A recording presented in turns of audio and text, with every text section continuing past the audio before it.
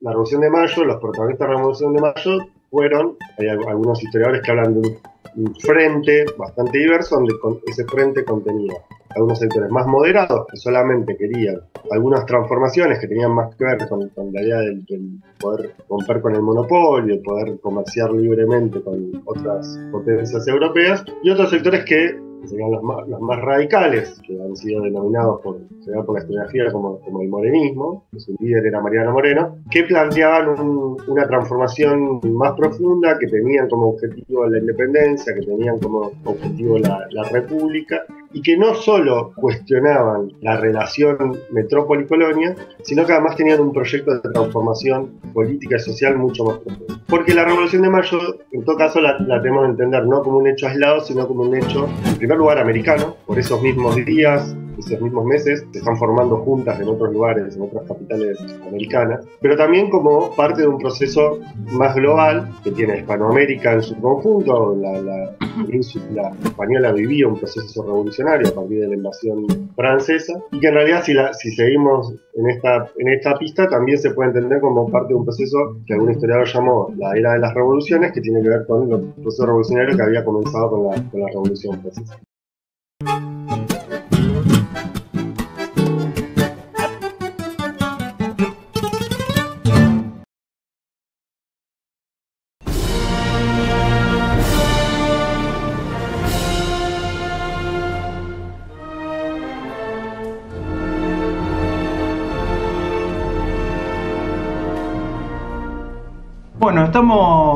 Culminando la semana de mayo.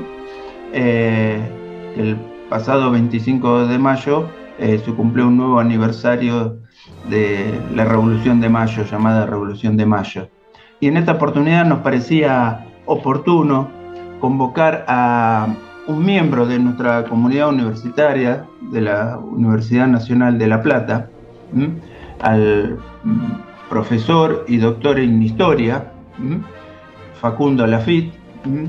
Él es, eh, además es magíster en historia en el mundo hispánico, las independencias en el mundo iberoamericano, eh, y además es eh, docente en nuestra Facultad de Humanidades y Ciencias de la Educación, en la materia, en la cátedra de Historia Americana, Americana 2. Y recientemente también es docente de otra materia eh, que se ha, surgido en, el marco de, las materias optativas de la Facultad de Humanidades, que es el pensamiento nacional en la historia y la cultura argentina. Así que le damos la, la bienvenida a Facundo. ¿Cómo anda Facundo? Es un gusto tenerte aquí por Radio Universidad Nacional de La Plata. Buenas, eh, gracias por la invitación. Eh, saludo también. Feliz, semana de mayo. buenísimo. ¿Cómo estás, eh, Facundo? Un gusto de tenerte acá. Bueno, te convocábamos porque 25 de mayo se puede ver, analizar y observar desde distintas aristas. Por ahí los hechos que son importantes son más bien conocidos, pero por ahí los conceptos que empiezan a a surgir y a, desarrollarse en, todo, en toda esa época, eh, son muy buenos abordarlos.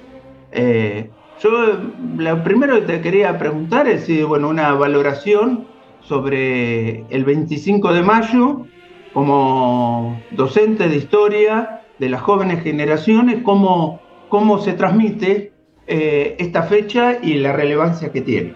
Bueno, sabemos que que quizás es nuestra, nuestra gran fecha, ¿no?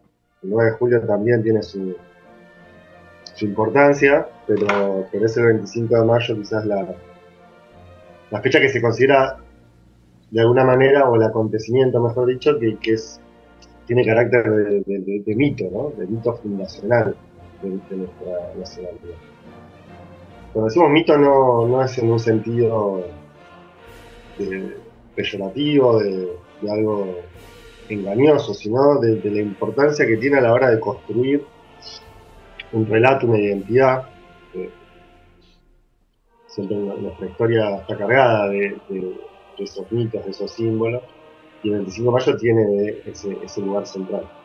Em, pero a la vez, al ser mito fundacional, siempre ha sido eh, un, acontecimiento, un proceso muy cargado de, polémica y de disputa sobre su, carácter, su significado. Eh, a lo largo de nuestra historia se lo ha valorado eh, de distintas maneras o se lo ha cargado de distintos sentidos.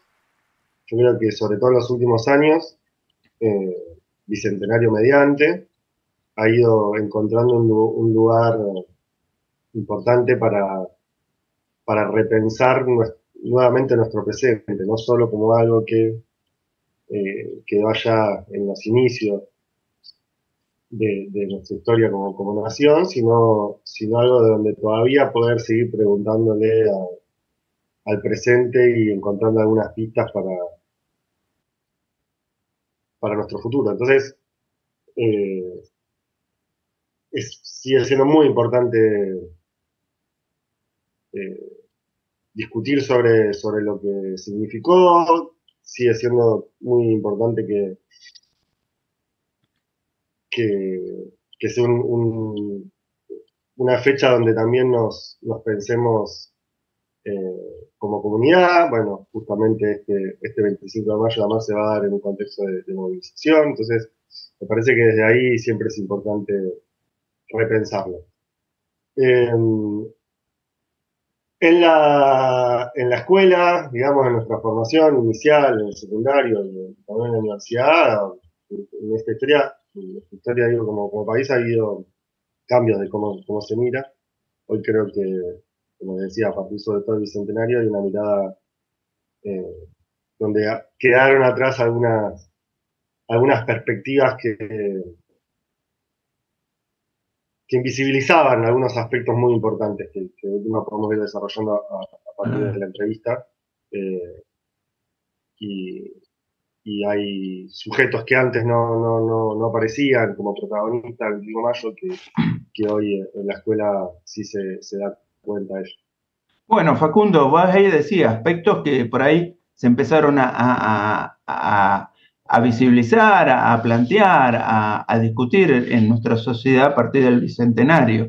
Y uno de esos aspectos me parece que es el, debate que se daban en esos momentos entre los distintos patriotas en, los caminos a seguir, porque estábamos en un contexto que el rey de España había sido derrocado y unos apuntaban más hacia un desarrollo independiente, autónomo de esta zona del mundo y otro era como hacer un parate hasta que el rey volviera a, tomar la corona. Y creo que ese debate entre eh, estas dos posturas nos ha atravesado a lo largo de la historia y nos llega hasta nuestros días ese concepto de, independencia, de colonia, mm, eh, que, hoy tiene una vigencia muy notoria, pero que lo ha tenido a lo largo de nuestra historia. Sí, hay, me parece a mí, dos cuestiones para pensar en, el sentido del carácter de, la Revolución de Mayo. Uno tiene que ver con eh, si fue una revolución independentista o no, eh, está fuera de dudas que, fue una revolución anticolonial, ¿no? que tiene un carácter anticolonial, porque más allá de si se planteó romper definitivamente o no con España, sí se planteaba transformar profundamente los términos de la relación con la mujer.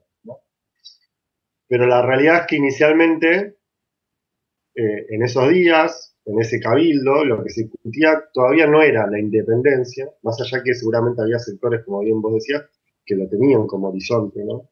que, lo, estaban geniando, eh, pero la realidad es que era un momento donde todavía la identidad española de los americanos todavía seguía, siendo muy fuerte. Pero sí había ya un conjunto de malestares y de, reclamos y de demanda que tenían que ver con no, no seguir en la misma situación de opresión y de sujeción eh, en la que se vivía. Pensemos que ya había, se habían producido levantamientos y revoluciones desde la norteamericana, la revolución haitiana, o sea, había antecedentes que planteaban eh, la posibilidad de una transformación. Entonces, lo que había seguramente, y eso se, da, cuenta en, las fuentes del periodo y en los discursos, es un reclamo por mayor autonomía. Pero bueno, como, decías vos, la Revolución de Mayo, los protagonistas de la Revolución de Mayo fueron, eh, hay algunos historiadores que hablan de un, frente bastante diverso, donde ese frente contenía algunos sectores más moderados que solamente querían algunas transformaciones que tenían más que ver con, la idea del, poder romper con el monopolio, poder comerciar libremente con otras potencias europeas, y otros sectores que, serían los más, radicales, que, han sido denominados por, por, por la historiografía como, como el morenismo, que su, que su líder era Mariano Moreno, que planteaban una transformación más profunda, que tenían como objetivo la independencia, que tenían como objetivo la, república, y que no solo cuestionaban eh, la relación metrópoli-colonia, sino que además tenían un proyecto de transformación política y social mucho más profundo. Porque la Revolución de Mayo, en todo caso, la, la tenemos que entender no como un hecho aislado, sino como un hecho, en primer lugar, americano, o sea, por esos mismos días, esos mismos meses se están dando, eh, se están formando juntas en otros lugares, en otras capitales americanas, pero también como parte de un proceso más global que tiene Hispanoamérica en su conjunto, la, la península española vivía un proceso revolucionario a partir de la invasión francesa, y que en realidad si, la, si seguimos en esta, en esta pista también se puede entender como parte de un proceso que algún historiador llamó la era de las revoluciones, que tiene que ver con el proceso revolucionario que había comenzado con la, con la Revolución Francesa. ¿Qué tenía? Eh, ese proceso tenía como, como característica general la, idea de romper con el antiguo régimen, con el absolutismo, ¿no? con las formas, eh, por un lado, tan jerárquicas de división de la sociedad, ¿no? Estamentos, que tenía que ver con romper la idea de que la soberanía era solamente una prerrogativa real y divina, y que entonces que tenía que ver con la idea de la soberanía popular, la representación popular. Bueno, en el caso americano, particularmente en el Río de la Plata, se combinan esos dos aspectos. La eh, ruptura con la metrópoli, o por lo menos la, búsqueda de un cambio en en la relación con la metrópoli, y la idea de ruptura con el antiguo régimen. El morenismo, este sector más, radical, combinaba esos ambos aspectos. Quería una transformación no solo política, sino en, algunos aspectos también eh, social. O sea, eh, en términos de hoy, en el lenguaje de hoy, una extensión de derechos, ¿no? Conquistar derechos para eh, las mayorías, derechos políticos, en términos de integrar a más sectores a, a la condición de ciudadano, pero también en algunos aspectos también derechos sociales, porque gran parte de la población eh, se encontraba, como sabemos, en una situación de, sometimiento eh, y de desigualdad muy grande.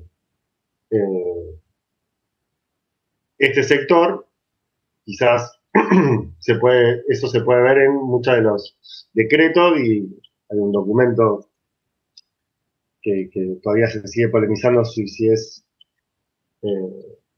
apócrifo no, que es el plan de operaciones, donde ahí podemos ver algunas de las pistas eh, de, lo que significa el programa para este sector de transformación. Pero también está, por ejemplo, la, la declaración, la proclama que hace Castelli, otro de los integrantes de este grupo, en, el Alto Perú, en, Tiahuanaco, en las minas de, de, Tiahuanaco, de, liberación del sometimiento que se encontraban los, pueblos indígenas de la región, ¿no? de, la, extinción del tributo, de la mitad, eh, la extensión de los derechos políticos que también para, esas, para esos pueblos. Bueno, vemos ahí algunos rasgos que hablan no solo de la idea de romper con España, sino también de una transformación de, la sociedad.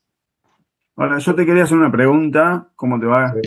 Facundo Gabriel Chapunau te habla. Eh, a veces se presenta, y lo que vos decís, este problema de la simultaneidad, eh, a veces se presenta la cosa como si la Revolución Francesa se dio acá justamente cuando Napoleón, como revolucionario francés vuelto emperador, conquista España. Y si bien son dos hechos simultáneos, digamos, en el marco, viéndolo en perspectiva, no parece que las dos cosas formaran parte del discurso histórico, excepto como accidentalmente, como una cosa superpuesta y vinculada solamente por el asunto de la legitimidad de que el rey estaba preso, el rey español, y la consecuente, digamos, acefalía de la metrópoli. Eh, ¿Qué relación se puede hacer entre el espíritu de la Revolución Francesa y, y, esto de anti-revolución francesa, que en la práctica significaba desconocer el gobierno de Napoleón en España? Eh, es, es, interesante porque, bueno, es, es paradójico porque, por ejemplo, en España quienes más se enfrentaron fueron los más decididos eh, a la hora de, enfrentar la invasión francesa, que fueron los liberales peninsulares, ¿no? el liberalismo peninsular. Es más, la palabra, la palabra liberal, la palabra liberalismo nace a, propósito de, este sector en España, ¿no? existía como concepto, una palabra de, origen castellano. Bueno, estos grupos liberales eh, españoles, eh, que son más destacados protagonistas de la, de la resistencia, formación de las juntas en España y de, la guerra contra, la invasión francesa, eh, en términos de su, de ideario, en general comparten gran parte del pensamiento revolucionario francés, pero a la vez están enfrentando a, Napoleón, que es, de última, un resultado autoritario y, imperial de lo que había sido la revolución, francesa. Entonces, tienen que camuflar gran parte de esas ideas dotándolas de una, eh, como si fuera ropaje tradicional, digamos, ¿no? Entonces van a buscar, en vez de decir eh, un Congreso Nacional, la convocatoria de un Congreso Nacional o una Asamblea Nacional, mejor dicho, como, había sido en, Francia, van a hablar de, de, una convocatoria a las Cortes Generales del Reino. Pero unas Cortes que ya no son las viejas Cortes españolas, sino que son unas cortes de una sola cámara, donde no, hay, está dividido por estamentos, donde eh, los representantes son votados por, la, población en, un sentido eh, de, lo que hoy conocemos como, la representación ¿no? popular. Entonces, eh, los, revolucionarios españoles tienen que disfrazar un poco esas ideas, porque porque también están llevando adelante un doble proceso, como, hacía referencia hace un rato de debate. Están luchando por su independencia, por romper con, eh, la opresión que, está llevando adelante Napoleón en España, o sea, con desembarazarse de la, de la ocupación, pero a la vez también están pensando en una transformación política de, de su nación, de romper con, el absolutismo, con el antiguo régimen. Y algo similar sucede en, el Río de la Plata en relación a esto de las ideas que planteábamos. Eh, justamente fue mi tema de estudio doctoral. Los revolucionarios rioplatenses, antes que leer a Rousseau, antes que leer a, a Montesquieu, que los leían, algunos de ellos, en realidad sus lecturas tenían más que ver con eh, los pensadores españoles. Una cuestión de más practicar por el mismo idioma, pero además porque muchos de sus escritos tenían más que ver con la realidad americana, entonces eran más útiles a la hora de poder pensar eh, la política. Entonces, cuando a partir de 1810 se produce la ruptura y comienza, el enfrentamiento con, con, la metrópoli, también los rioplatenses van a tener que disfrazar algunas de sus ideas, porque en realidad ellos están leyendo a los liberales españoles les llegan los periódicos, eh, hay una recepción y una circulación muy importante de esos textos, pero a la vez, de alguna manera, también lo están enfrentando, porque a partir de 1810 y sobre todo los años siguientes se va a dar una dinámica ya de guerra, ¿no? de, enfrentamiento militar entre el Río de la Plata y España. Entonces se da de vuelta este, este, este proceso donde son usadas las ideas del, enemigo eh, eh, pero, pero son usadas de, manera camuflada, ¿no? Disfrazada.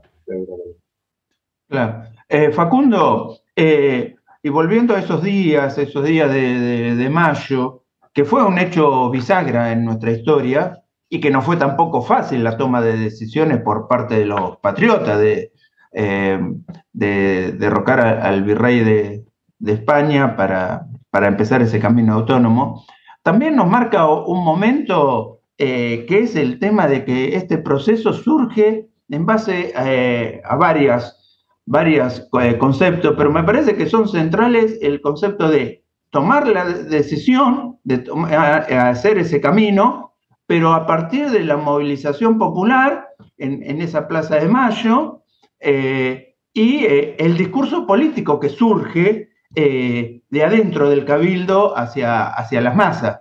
Digo eso porque eso nos va a marcar y a lo, largo de nuestra historia van a haber distintos hechos que, van a, que, se van a, suceder en ese sentido. Sí, em, Buenos Aires se, entra medio en convulsión, en, una situación de, alerta, de tensión, cuando llegan las noticias, considera que el 18 de mayo, empiezan a llegar las noticias de la caída de la Junta Central, de la, ocupación de, Andalucía. Entonces se cree que España está perdida. Eh, y, la realidad en el Río de la Plata ya era de que los sectores criollos eh, tenían, a diferencia quizás en otras regiones, contaban con una herramienta que eran las milicias que se habían formado durante las invasiones inglesas, que había trastocado un poco el equilibrio dentro de, la colonia, del, virreinato. Entonces, eh, grupos que ya hace, varios años venían evaluando distintas opciones ante la crisis de la, de cefalía eh, de, la, corona, eh, ven en, esta situación una posibilidad de actuar y empiezan a presionar al virrey eh, para que convoque un cabildo. Y ese es el cabildo del 22 de mayo. Que ahí es importante esto de la, de la movilización popular. Primero, ¿quiénes eran los que iban a participar de ese cabildo? En general, eran los vecinos, eh, y para la condición de vecino era, que tenías que tener cierta estatus social, ¿no? No todos eran convocados a, participar de un cabildo abierto, ¿no? Era la gente decente, la llamada gente decente. Bueno, ahí el sector más revolucionario, que podemos nombrar, bueno, nombrar a Castelli, que también estaban French, Beruti, eh, Yates, van a eh, operar sobre esa convocatoria, es más, la, imprenta donde, donde, salen las invitaciones, eh, la manejaba un, integrante de este grupo, Dorado, apellido, y ahí se van a imprimir invitaciones a gente que usualmente no, no, estaba considerada como parte de ese grupo de gente decente que tomaba decisiones. Entonces ya la composición de ese cabildo va a tener va a tener otra, otra característica. Después, a mucha de la gente que se consideraba que iba a posicionarse en favor de mantener la lealtad, y que no, no el status quo, de, seguir declarándose fiel a la metrópoli, no se la deja llegar. No se la deja llegar porque se, la, se le impide eh, acercarse al cabildo, en lo que hoy diríamos especie de piquetes, ¿no? Eh, que eran, bueno, estos mismos grupos que, que amedrentaban y, y generaban temor eh, a esos, a esos eh, vecinos, general de familias españolas, ¿no? que no, no tienen posibilidad. Bueno, eso va a ser importante a la hora de pensar eh,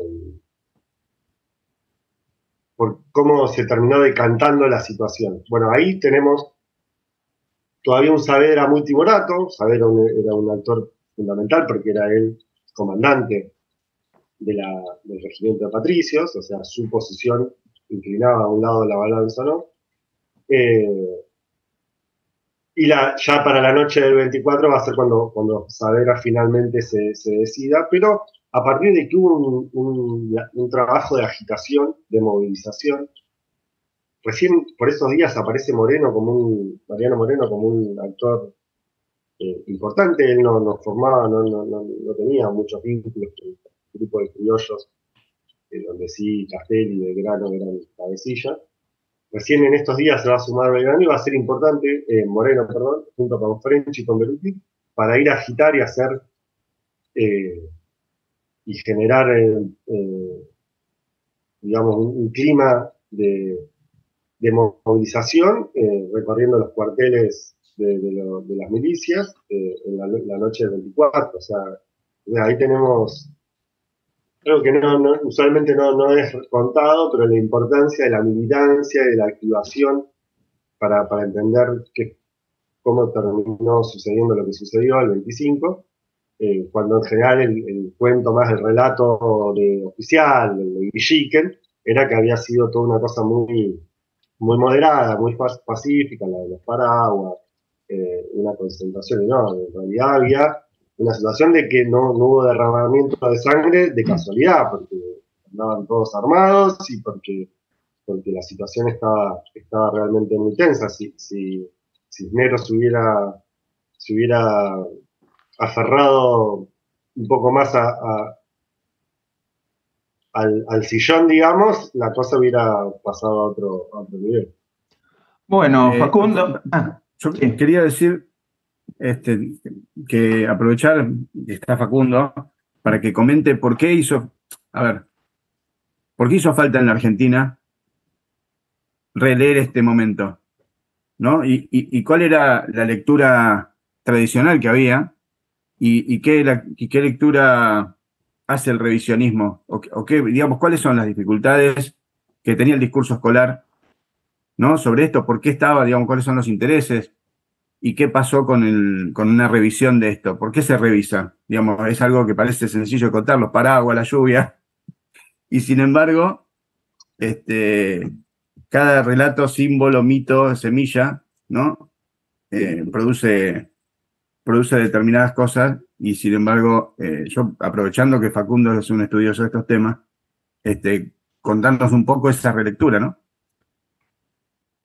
Bueno, es, un poco retomar lo que, lo que decíamos al principio, ¿no? Por qué se, revisita constantemente, porque, bueno, tiene ese, ese carácter de mito fundacional. Entonces, para pensar un proyecto de país, necesariamente uno, uno vuelve a, al origen, digamos, ¿no? Eh, el relato oficial, que fue construido inicialmente fundamentalmente por Mitre, habla de una revolución de mayo, de como decía yo, protagonizada por gente decente, donde el pueblo está ausente, digamos, eh, anti-española, en un sentido de anti de lo que significa España como tradición, como cultura, pro-británica, librecambista, ¿no? Eh, todas cosas que de alguna manera eran funcionales al proyecto de Mitre, porque Mitre no solo era historiador, sino que a la vez era el presidente, era político. Todo un relato que era funcional al, a lo que él perseguía eh, desde su gobierno, que era un estrechar los vínculos con, con, el imperio dominante de la época, que era el imperio británico. En mediados del siglo XX, en la primera mitad del siglo XX va a surgir primero una revisión de carácter más conservador, del nacionalismo conservador, que, va a hablar de que en realidad los fundamentos ideológicos de Mayo eran de continuidad de la tradición hispánica, y van a poner acento más en el pensamiento religioso, en los fundamentos religiosos de, de muchos de los planteos y conceptos que, que se discutieron por la época. Pero va a seguir siendo una, una revolución de, la gente decente, digamos, pero ahora ya quizás no va a ser eh, Moreno y Rivadavia las figuras más destacadas, sino Saavedra, carácter militar y, más conservador. En los 50, en la década del 50, alrededor por ahí, va a surgir una mirada de lo que se conoció como más el revisionismo popular, federal, que va a rescatar ese mayo más de, carácter democrático, digamos, en el sentido de poner más en acento en las transformaciones que quiso llevar adelante el morenismo, no solo en relación a, romper con, la sucesión colonial, sino de, eh, dar cauce en, el Río de la Plata a, la idea de soberanía popular, de, terminar con el absolutismo, con el antiguo régimen. Eh, en los 90, un poco producto de, del contexto, ¿no? Del fin de la historia, de, cierta mirada posmoderna en general a la hora de pensar nuestro pasado. Eh, desde la academia va a tener, tomar mucha fuerza una, perspectiva que quizás su, referente máximo fue Luis Alberto Romero, Luis Alberto Romero, el hijo de José Luis Romero, ese momento era profesor de la UBA, hoy creo que todavía sigue siendo uno de los editorialistas de la Nación.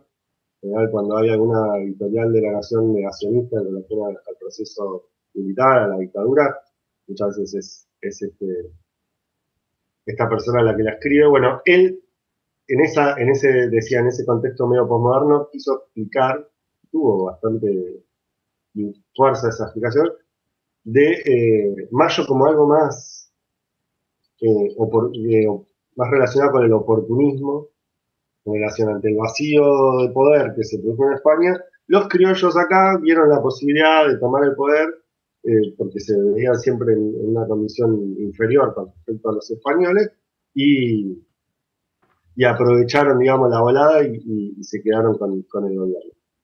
Lo que es una operación muy reaccionaria y conservadora porque le quita a, a ese hecho su, significado revolucionario, como que no, no, no, había proyecto, no había ideas, era solamente una cuestión de, pragmatismo y de, oportunismo político. Muy, digo, muy en clave de lo que era esa época, eh, y con el bicentenario, así retomamos lo, que decíamos al principio, se recuperó un poco, primero, el cuestionamiento a lo fuerte a lo que había sido el relato oficial inicial, y se retoma parte de lo que ese revisionismo más popular, más federal, había planteado sobre Mayo. Y ahí aparece eh, la figura de Moreno en, toda su dimensión, aparece la figura de Artigas como, como la cara más popular de todo este proceso, San Martín en, un significado mucho más americano del que Mitre le quiso dar, acotándolo a, solamente a, la Argentina. Eh, y, esos años, obviamente del Estado, no solo con, el festejo del bicentenario, sino también con, políticas en el sentido de la, transformación del, curricular, posibilitó de que hoy en las escuelas se esté teniendo una, un estudio de, ese proceso con, en esta clave última que, que yo decía. Bueno, Facundo, te queremos, realmente ha sido muy rica toda, toda tu, exposición eh, y te queremos agradecer en nombre de Radio Universidad Nacional de La Plata el tiempo que, nos has dedicado y seguramente estaremos en contacto para otra oportunidad. Bueno, muchísimas gracias, eh, realmente siempre dispuesto para, poder hablar sobre estos temas, así que estaremos.